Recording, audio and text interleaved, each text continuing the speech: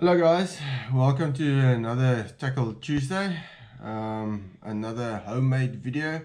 Seeing that we're in lockdown, I cannot go out and make you some fishing videos. So I'm gonna keep this channel alive by talking through different species, talking through different tackle that I use. So today's topic is Galjoen. Um, I've had some questions about Galjoen and what setup do I use, what um, trace do I use, how do I collect my need, how do I connect my need leaders, and what leaders do I use? Do I use braid leaders and do I use mono leaders? So today's discussion is going to be all about Galjoen. Um, we're getting to Galjoen season. Hopefully one day when we get out of this lockdown, we can go and fish and by that time it would be Galjoen season. So I think it is very fitting that we discuss Galjoen as a topic. So I'm going to run down through my general setup for Galjoen, the, the rods and reels, the trays, the leaders, the braids and everything. So hopefully after this video you guys will know the exact trays that I use and as well as the rod and reel combinations. What you guys need to remember is the area that we fish for Galjoen up here in the Southern Cape or Garden Route area um, the EP guys will be quite similar to us, or the Eastern Cape guys will be similar to us. The guys down in Cape Town and West Coast it's a different story. It's a different approach. They, they fish a lot of sand. They fish between bamboo. Um, they fish much shorter throws. Um, and also much lighter tackle, smaller hooks, lighter um, leaders, lighter line, and everything. But some of the things that I do here, you can implement there, and you can just go lighter on your tackle while I'm on the topic of the area that we we're fishing, that's the reason for the tackle that I use. Um, I can't, we can't go too light. We can't go 10, 11 foot rods. We can't go um, 1 hooks and 0.50 hook snoots or 4.5. I know some guys fish like 4.5, 4.0, 4.4 um, fluorocarbon. In our coast, you cannot fish that light. Um, our areas that we fish is very foul. There's a lot of structure. Um, the are big. Uh, we often get of 3.5, 4 kilos, 4.5. Um, I've seen galjoen up to 6 kilos on our coast. So there's some serious big fish and in between those galjoen you hook that nasty creature, the Mr. Mussel Cracker. And if you're going to be fishing too light, you're going to be cut off. You're not going to be able to land that fish. Also the big galjoen in these areas where we fish, we fish around a lot of bombies, a lot of pinnacles, reef, um, um, next to islands and um, the mussels on and then the red red bait beds on those rocks are very foul so if you're going to fish too light even a big galjoen even a 2.5 2.5 to a 3 kilo galjoen is going to cut you off very easy. If you're going to fish too light it's going to straighten your hook as well. I've seen that a lot of times. So I'm going to start out with my lighter setup. Like you guys seen in most of my videos I always fish with more than one rod. I can't fish with one rod. It's it's it's a it's a problem of mine. Um, I don't want to be caught off guard, not you, not having something um, to fish for a specific species, or when I need to get to a certain reef or certain spot and I can't throw there, it drives me insane. So guys, please remember, before I get into the tackle and the gear that I use, none of those brands that I've named here is uh, sponsoring this video. So this is absolutely my tackle that I prefer to use. And you guys can find something similar in the brands that you prefer to use, but this is the brands that I like to use and the brands that um, I found most suitable for me. So yeah, my first setup and probably my go-to setup, um, all-rounder setup for Galjoen is a 13 foot Assassin Bluefish Special. I prefer the 13 foot because the 13 foot is short enough to fish the short gullies and long enough if I have to make a slightly longer throw.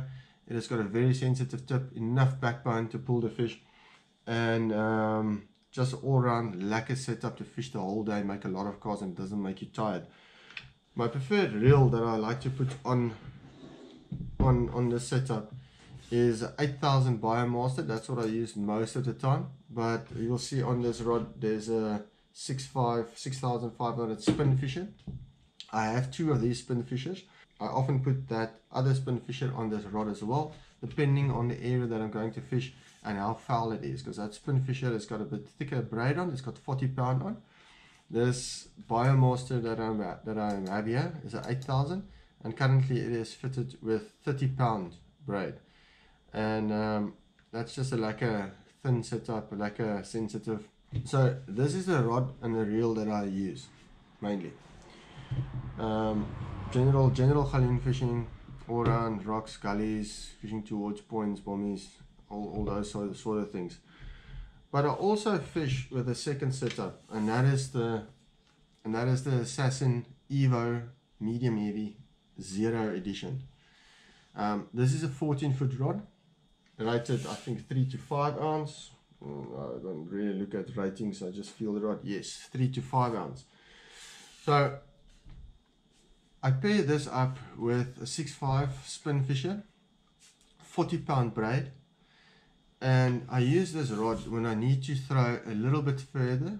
I know there's big galjoen and um, there's a lot of reef around and I need to be a bit more aggressive when fighting the fish. I use this because um, it has a very I can throw a very long way with this. I either use a 4 ounce or 5 ounce on it.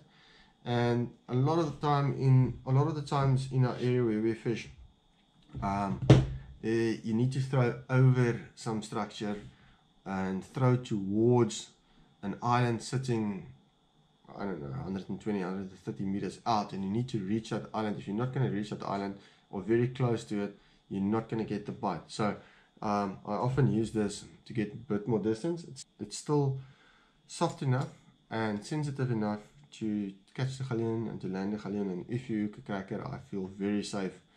Of um, landing a massive mussel cracker on this tackle right here. And another thing why I take this Evo with me is that either when, when, when the water is clean and we fish deep or deep deep spots or, or places where there's deep reef, um, I'll use this for my short throws, my, my assassin bluefish, I'll, I'll use that for the shorter throws. But often I want to target different species while I'm out fishing for galjoen. So I'll use this to target red Romans and um, ugh, just a mussel cracker or anything while I'm out there. And then also we have a lot of beaches with scattered reef and then the reef, that reef opens and closes, opens and closes. And once it's closed, there's a lot of sand. And when there's a lot of sand, there's not a lot of galjoen. So I don't want to walk five, six, seven kilometers down the beach and I'm out on a galjoen mission and I get to the area that I want to fish and it's all sanded up. Then it's going to be very difficult to target the galjoen. This is where this rod comes in place. I always have a chokka, some prawn, um, some crab or anything with me. And then I target cob, I target steenies, I target Baardman or tasselfish as you guys know it. So that's where I use this rod. So I go down, go and fish for galjoen. It's all sanded up, can't fish for galjoen, then I target cob. Um, it happened to me last year. I went fishing with some friends in, in, in Blombos. We got there, um, we targeted, the main species was galjoen and when we got there there was a nice little sandbank rolling um, I made seven throws on that sandbank I got five cob and a shad and I missed a cob and I got only two galjoen for the day if I only had my galjoen tackle with me that day would have ended up in catching only two galjoen so the question I get asked most frequently when it comes to my tackle talks and, and combinations and targeting species different species is the leader so the question either would be, Xander, are you fishing a mono leader or you're fishing a braided leader? How long is your leader? And you attach mono to your um, uh, braided leader? So when it comes to when it comes to scratching for, for edibles, I change my setups slightly. Usually when I'm fishing for sharks, I'll fish my 50 or 60 65 or 80 pound braid top shot on my reel and then I'll fish a 180 to 220 pound braided leader of about 6 meters onto my shark throws but when fishing for for edibles when I use 40 pound now I'm talking about reef species not for cob usually when I fish for cob and steenies I use a, a lighter braided leader of like 80 pound or 100 pound but now we're talking scratching in the reef fishing for galjoen galjoen, bronze bream, red romans, um, blacktail, and everything else that, that that's bycatch. So we're scratching around in, in the rocks. When I'm using 40 pound braided line, just gonna thread this through. Okay. I fish 40 pound straight onto my 40 pound, straight onto my reel. Then I just attach like a, I don't know, full both arm length of mono leader in front. So basically the length of that leader is determined by how long my drop is when I throw. It can go like into your second or third guide, but I prefer this knot to be as close as possible to my rod tip. So the knot that I use is um, a FG knot. You guys can see there's my FG knot neatly tied. I'm not going to show you guys in this video um, how I tie my FG. The FG. I have a video on my channel on how I tie my FG. Um, the link will be in this description. You guys can go and check it out. I just fish a full arm length of 0.65 Maxima Ultra Green. This is my ultimate favorite mono to use as leader and as a hook snoot for Galjoen. It just takes a punch I've tried and tested it over many many years, probably 15, 17 years that I've used this for for edible fishing and used in the rocks and I've got some really good fish in it. just handles the punch. So while I'm, while I'm on the topic I'm going to show you guys my trace now, my exact trace as well. While I'm on the topic of leaders, I want to go over to to my lighter setup and I want to explain to you guys what I do here. Because I'm fishing 30 pound, when I know it's not very foul, I'll fish the exact same story, just a 30 pound straight to a mono leader. Um, fishing for Galjoen, I know it's not very foul, but I do like to put like a five or six meter um, braided leader on the 30 pound because the 30 pound is really thin and I often fish 20 pound as well but I prefer to fish 30 actually. I'm just going to pull this off.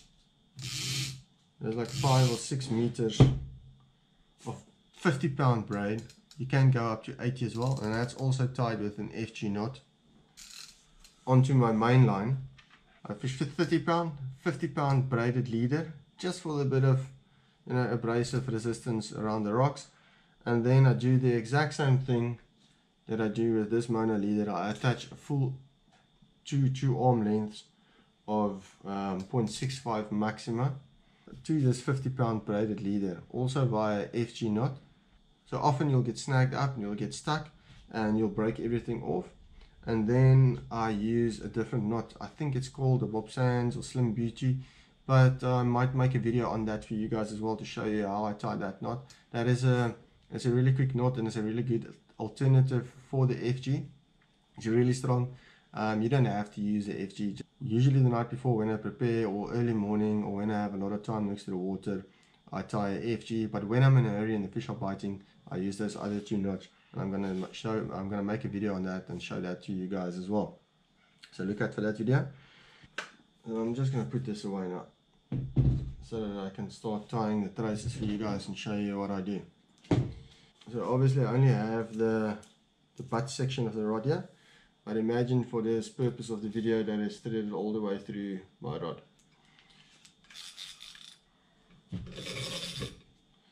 so I threaded all the way through my rod so here we have 0.65 Maxima Ultra Green. So I'm going to do my trace And I already tied my circle hook onto my snoot. Um, I didn't have to show you guys this knot. It's just a snell knot or the snell knot that I use, not the normal one. Um, if you want to check out how this, how I make this knot, um, as you can check it, it's very tight. It doesn't have that loose end coming out. So if you guys want to see how I make this now, not I have done a video of this in the past. It's one of my very first videos. I'll also put that down in that link down in the description so you guys can check out how I make this knot. Just to save some time, I'm not going to show the knot now. Back to the leader. Sorry guys, I'm jumping around. I'm jumping around here a bit. But back to back to the leader. This is threaded through.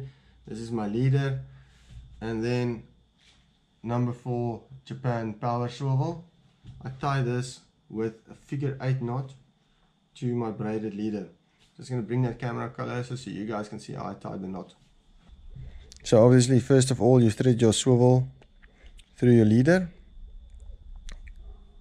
and I like to twist it turn it. You'll see there's a little circle. Okay. Now we go. You guys can see this is the main line going up to my rod tip. Just excuse my nails. I painted some lures yesterday. So there's your circle that we that we made. Then it's one two three turns okay I just want to go back show you guys again. It's one two. Just check from the top finger to my finger point. Third time around and I take it off. I just create that. And then this back this tag end goes from the bottom section back through facing upwards. And I just open my knot and then I just gently pull either sides then wet it okay and it starts to form. Now all that we do is we pull that down tight to the swivel. Um, I'm just gonna just gonna use my slithering pliers. I'm just gonna tighten that knot. You guys can see there almost like fuses in there you know that knot is set and we snip it off. Tag in right there. There's your swivel on. Now that my swivel is on now it's time to tie my hook snoot this is like I said it is Maxima 0.65 ultra green. Um, I'll often use 0.60 as well especially when the water is clean. So the length of this hook snoot is probably like 40 to 45 centimeters. I take this a little bit extra to tie the knot I'm not going to show you guys how I tie the knot because I already done that so I'm just going to tie it on.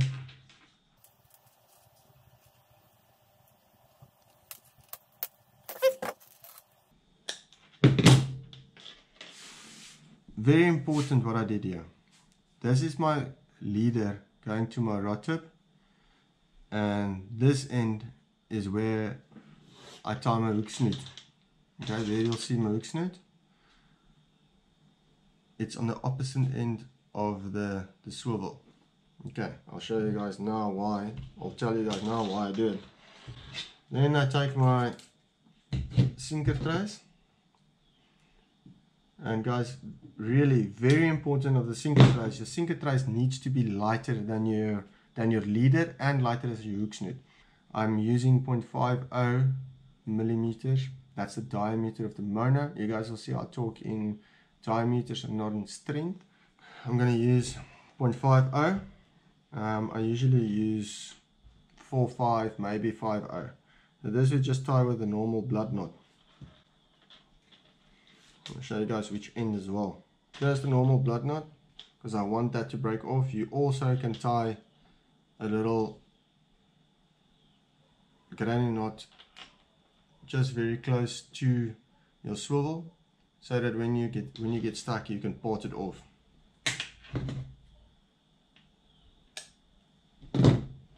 Okay. Guys just a quick tip. Also what you can do for um, not to lose as many sinkers you can take a piece of Dacron and you thread it through your, your sinker and you just make a little loop knot tie a little Dacron on here. We measure our distance. I like it shorter. Just a normal blood knot onto the Dacron and I'll tell you guys now why I did a Dacron and explain where I tie the swivel. You guys will see that my sinker trace is tied onto the same side as where my leader goes on and my hook snoot on the opposite side. The reason for this is that you can see that swivel when, you, when you're fighting the fish that swivel is straight So when it's going over the rocks and back and forth, and remember I told you guys it's very far where we fish for this for, for this galjoen. So when that um, swivel is going back and forth over the structure, it's going to go much easier over the structure and it's got less chance of snagging. Because once the swivel snags, you've got problems and you're not going to lose your fish. So that's going to go over the structure and your sinker will trail. And that's very important where the lighter sinker trace comes in. So when that sinker gets stuck, you can break the sinker trace off or snap the sinker trace and then you, your fish is still attached and you're gonna fight, you can fight your fish. So my sinker trace is about 30, 25 to 30 centimeters and it needs to be shorter than my hook trace. The reason for that is, is when I'm, I just want it to be slightly higher up in the water. If it's longer like that, now you're fighting your fish that sinker's going to drag all the way along the bottom while you're fighting the fish and it's going to get it's a lot easier for your sinker to get snagged and stuck and bigger chances of losing the fish. That little piece of um, Dacron that I put on there is just if you tie it directly onto your sinker when you reel when you wind out and while it's rolling on the bottom on the sea floor it bumps against the rocks and it might damage that sinker trace so when you throw you throw your sinker off and you don't want to pull over a, a piece of um, structure or a ledge and then bump your sinker and your sinker falls off. So that just prevents that from happening and you don't lose unnecessary sinkers. Obviously the next question would be that why I'm not using any float. I don't like to use floats with my with my galjoen trace. Um, to me it feels that when you're using a circle hook and that when you throw your float moves down and it sits right against your bait. And often when, when, you, when you catch a fish with a float, you'll see actually there's teeth marks in that float.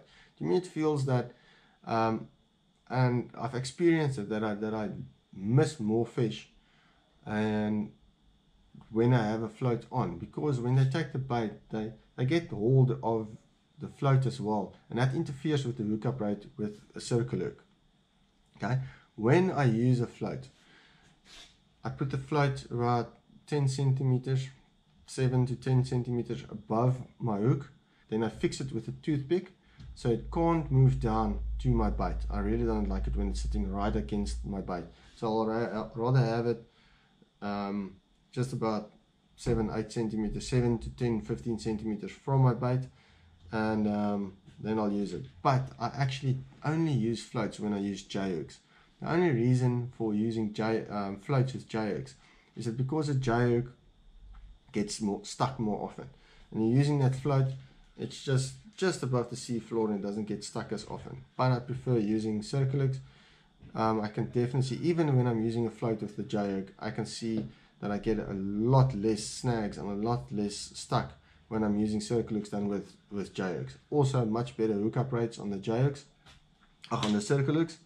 And then my preferred circle hook that I use is the Adrenaline 2.0 and then late summer I'll go up to Adrenaline 3.0 um, especially when we get those bigger galjoen, those 3.5 to 4.5 kilo galjoen and there's a lot of cracker in the water then I fish a 3.0 so that's not your normal 0.50 4510 number one hooks and what a lot of the guys use in Cape Town it's very different down here oh, it's a lot heavier tackle than the guys is used to fishing in Cape Town and the West Coast. So yeah, guys, this this tackle and this setup that I'm using here, it's not only for galjoen. Like I said, um, I use this for cold, for steenies, and everything. You can use this exact set scratching setup right here, as well as the Evo, to fish for bronze bream, um, to fish for your blacktails, normal reef species. You can even use it for steenies, you can use it for baardman.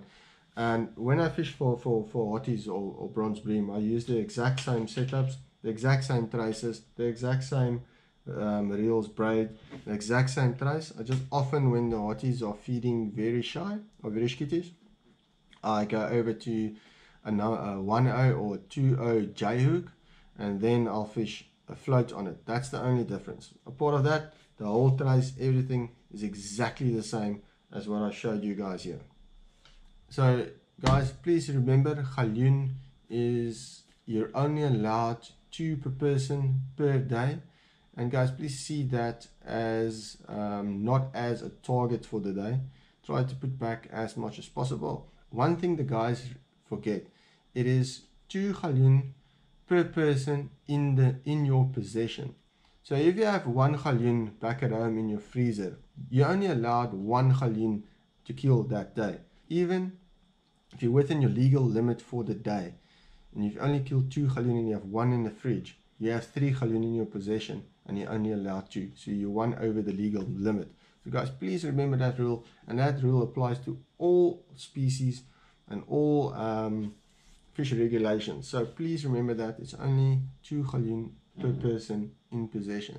It is a, I know it's a lekker braai fish and we all enjoy a lekker vet galjoen. Goes down very well. And um, But please don't kill them unnecessary. Um, only if you want to keep one for the braai. I often go and I fish in, and in our areas we get, get two dose galjoen and we really clap them and I've caught 14, 15, 16, 18 galjoen in one session and then I don't kill any. Um, for me it's just fun to fish. Um, although I do like a galjoen. And um, but yeah guys, it's it's all about the fun. That's why we fish.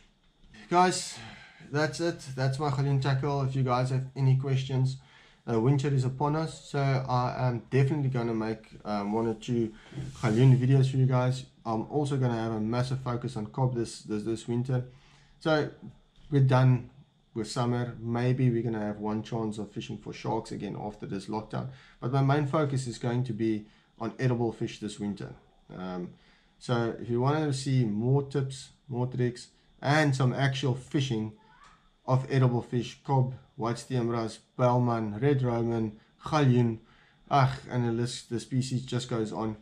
Subscribe to Zoo Look Fishing, share this video, like it, it helps me quite a lot. So guys, appreciate it. Cheers, stay, safe.